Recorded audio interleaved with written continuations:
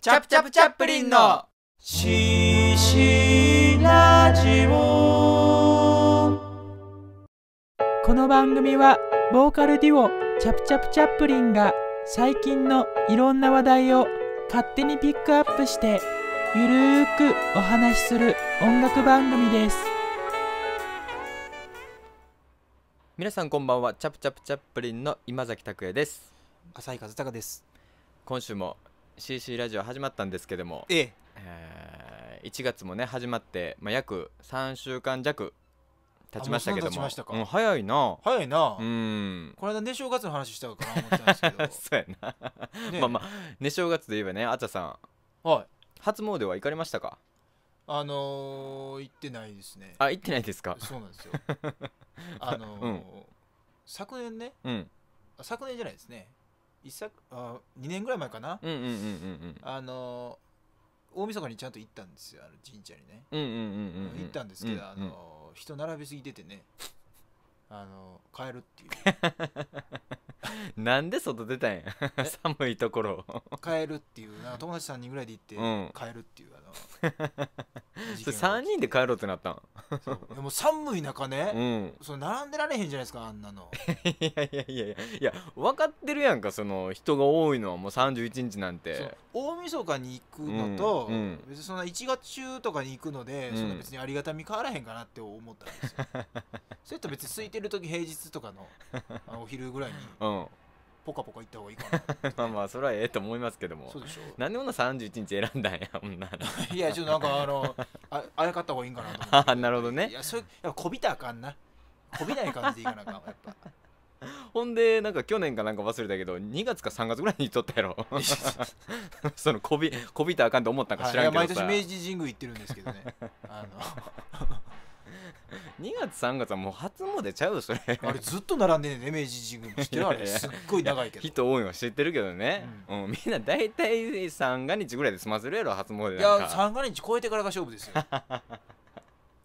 人少なくなった時に。あそうなんですか。もう自分が初やったら初やから。いやまあまあまあそう、うん確かにそうやけどもね。まあ今年は1月中に行こうかなうんうんうんもうはいぜひねあの、行っておみくじでも引いて、はい。今年をねあの占ってみてくださいよ。結構僕大吉年23年連続引いてるんで。そうなんや今年も。俺全然大吉出えへんねんけど。いあほんま？何？末吉みたいな。や今年はね中吉でした。あ微妙やわ。うん、でも一番いいかもしれん。今までで。え？幸薄。っ ほんまに。大吉出た記憶ない。たたられてんじゃん。なんか大丈夫？大丈夫だと思います。たたられてるで思い出したけど、うん。この間あのホラー映画見に行ったね、今崎さん一緒に。ああ行きましたね。ね。うえ、もうん。何年ぶりやろ？もうすっごい久しぶりに行きました確かに映画館でうん見るホラー映画。僕ほんまにテキサスチェーンソー以来おけあ結構過激なの見てますね あそう。以来ぐらいちゃうかな。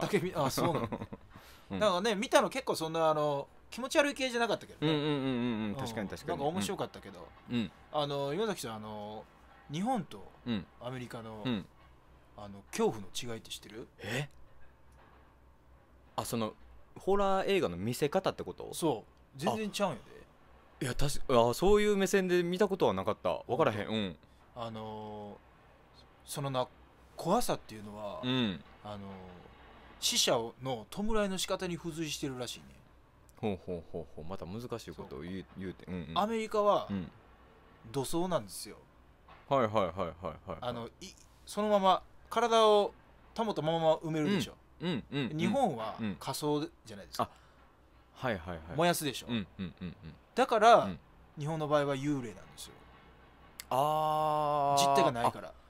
なるほどなるほど。そう。んうんうん。うで海外はうん。土葬が多いから、うん土葬の場合はそのまま埋めるじゃないですか。うん。だからそのまま出てくるんですよ。へえだからゾンビとか。そうなん確かにそういうそう言われてみれば日本でゾンビうん。あんまないでしょ、そうやな。ゆかりが。海外はゾンビっていうイメージやもんな。そう。それはもう焼いちゃってるから。なん。ですよ、うんなるほどね。そう。あそれ初めて知ったわ。で今崎さんをうん。そのまま埋めてみたらゾンビになるかもしれないですね。で 日本初ゾンビ的な。いやなりたないわ誰も。ダメですか？ダメですよ。誰ともキャラ被らないよ、かぶらへんけど、うん。もう俺この世に存在せえへんけどそれ。あそうそうか。ゾンビで出てこれたらええけど多分それとかまんといてな。多分それ出てこられへんやんそっか。の存在がただただなくなるっていうので終わるやろ。上からコンクリートで固めてあげるね。なんとか出てくるようにして仕向けてくれ。えどっちを願ってんの？いややるんやったら。ああそう。そうそう。え面白いでしょ？うん確かにそういう考え方。そういう考え方は面白いですね。えそういう観点でねホラー映画を皆さん見ていただいたら結構面白いですよ、ほんまやな。そうそうそうそう、うんうんやっとねその海外でもそのうん。うん幽霊的な怖さが、うん。まあ、実写版のね、うん。受け入れられてきたんですよ。そのあ。いろいろじょ呪音とかもいろいろあったり。あーあそっかそっかやっとったな。そうそうそそうなんや。うで監督がねん。アメリカ側とね喧嘩したらしいですよ。だからそので普通に降って出てきてもうん。何が怖いかわからないみたいなほうほうほう感じなんで。だからこう襲ってこわへんのになんでそのなんかスッて通っただけで怖いのみたいな。日本人やったらそのなんかいるはずもない人がスッてこ通っただけで怖いじゃないですか。なるほど。もう怖いっていうベクトルが違うんや。うん違うんですよ。いやそのなただ通っただけでなんで怖いのみたいななんか喧嘩になったらしいですよ。そうなんや。そうそうそっかそっか。怖い。そうかそうか。なるほどね。そう。そう、んんん。でやっとそういう怖さがねあっちもこう受け入れられてきたみたいで。うんジャパニーズホラーがねあへそうそうそう。えいや日本のやつも怖いけどなめっちゃ。でそれ君が日本人やから。あそっかそっかそっか、うんあであでもアメリカのやつはなんかびっくりするイメージがあるかなそうそうなんか具体的な怖さじゃないですか、うんうんうんうんうんうん。そこにね違いがあるっていう話なんですよ。なるほど面白い、面白いでしょ、うん、そういう観点でちょっと僕もホラー映画うん。見てみたいなと思いますね。ね。うん。あの曲言ってもらっていいですか？終わりってことですか？終わりです。あなるほどね、は了解しました。怖いやろ。終わり方怖いや うん、確かにちょっと怖い顔しとったから、うん、どないしたんやろうと思ったけど、ろ今日終わり方怖いやろ。そういうことやったんやね。ではですね、はい。今週も、えーおすすめのねはいはい。一曲を、えー僕がお届けさせていただきたいなとええ。思うんですけど。何ですか今日えー今週はですねははい花々としてもご活躍されてる。はい。小島泉さん。あー、のソロ曲を、えーお届けさせていただきたいなと思うんですよソロで活動されてるんですか？そうなんですそうなんです。まあ花々さんもね今活動されてますけども、まあ、はい一時期ねこう活動休止された時期もあったりだとか。ダブルピアノとか弾いてありましたよね。すごいですよねすごいですあれ。結構今は今でダブルピアノってやってる人おらへんよね。M ステでダブルピアノの人いないですよね。いやおらんよな。あれはすごいなと、まあ、思うんですけども、うん。まあ、僕が専門学校行ってた時代にええ。あの小島泉さんがですねその専門学校の特別講師をやられていて。あそうなんですか。そうなんですそうなんです。恩師なんですねじゃそうですそうです。ああそう。で今でもねなんかこう。え何そのかけてとか言われた？えちゃちゃちゃちゃちゃちゃそういう感じじゃない。ちゃちゃちゃまあそれは勝手に僕がかけかけてるだけなんですあけども。そうなんか頼まれたとかじゃないちゃちゃちゃちゃちゃ全然違う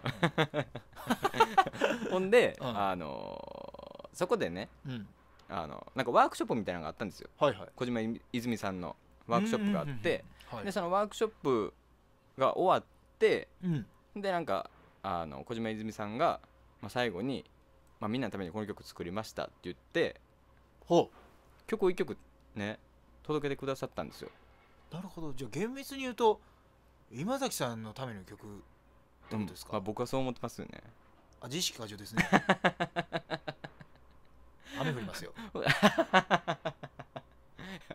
雨はもう勘弁してください。でまあそのね送ってくれた曲が、まあゆくゆくねうん。こうアルバムの作品となって、まあ、2007年に「ピクタグラファ」という。ピクタグラファというアルバムをね出されはったんですけどもまあ、その中に入ってる「うん。道」という曲を、道。はい、今週はお届けさせていただきたいなとはい。思います。あちょっともう聞きたいから早くかけてもらってそか？れ俺のやつやんか。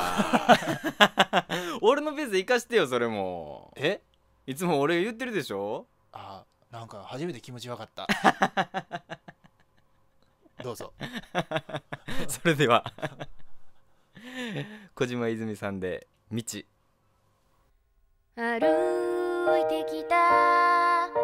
足元に花が一輪咲いてました。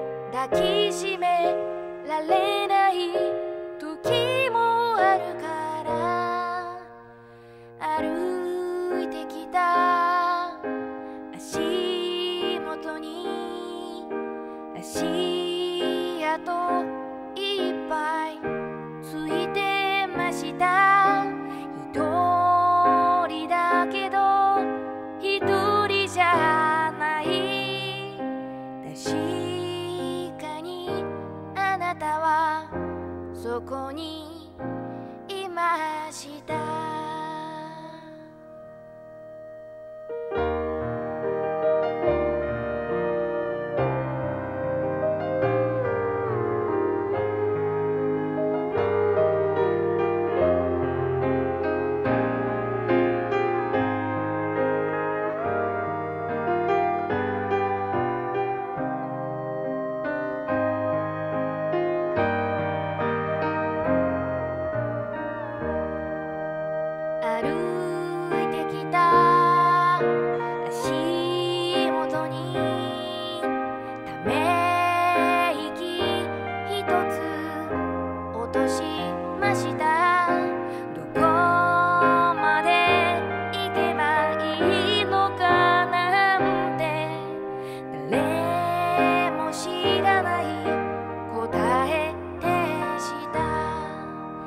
歩い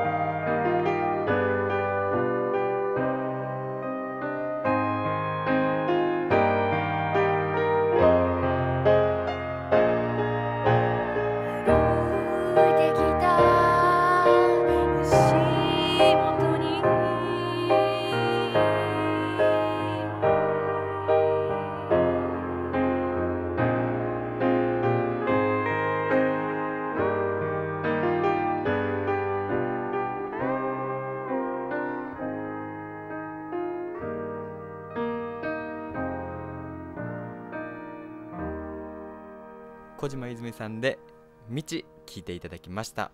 いやーなんかすごい心が洗われる歌ですね。うーんそうそうそうそう。僕もねこの曲初めて聴いた時がそのワークショップ終わった後で最後に小島泉さんに1曲どうぞみたいな感じだったんですけど、うん。初めてこうプロの方の歌をこうすごい近い距離で、あまあ、聞いたんですけどそそううそうそう。そう、ん。もうね歌の力ってほんまにすごいなって思った一曲でもありましたしうん。なんか少しこう自分がこう落ち込んだ時とかに聴く一曲になりましたね。ああなるほどね。うん。やっぱり今崎さんのうん。ために歌った曲って感じがしましたね。やっぱり、ありがとうございますうん、否定するとこやけど こう声がね、うん。こうすっごい通る声されてるから、うん。結構なんか民謡とかも合いそうねこの人。あー確かに確かに。そうやな。灘そうそうとかすうごい、ん。歌ってもらいたいな。確かに、ね言っといてくれへん、今度。灘そうそう歌ってくれませんか？うん言うときます。言ってくれへん？Facebook とかでもねあのつながってるんで、うん。あの投稿されたところにコメントで「あの灘そうそう歌ってください」だけコメントしてきますいやちゃんとして そうか「うん、おおあだで返せなかったよね今崎さんそうやね、うえーというわけでですね、んはい。今週も、えー、CC ラジオ、えー皆様ねお聞きくださってありがとうございます。はい。なんですけども、えー1月20日ですね、えー僕たちみなとみらいのストリートミュージックそうですね。グッドサウンドうん。ボリューム2という、えーイベントに出演させていただきます、はい。僕たちはですね、えー17時からと16時半から、えー、2ステージでね。お届けさせていただきたいなとはい。思ってますので、えーぜひぜひお時間ある方ね遊びに来ていただけたらなと思います。はい。また詳しいことはねあのホームページアップしてますのでぜひぜひそちらの方もね遊びに来ていただけたらなと思います、はい。というわけで今週も聞いていただきましてありがとうございました、えーチャプチャプチャップリンの今崎拓也と浅井和孝でした。バイバーイ。バイバイ。ししら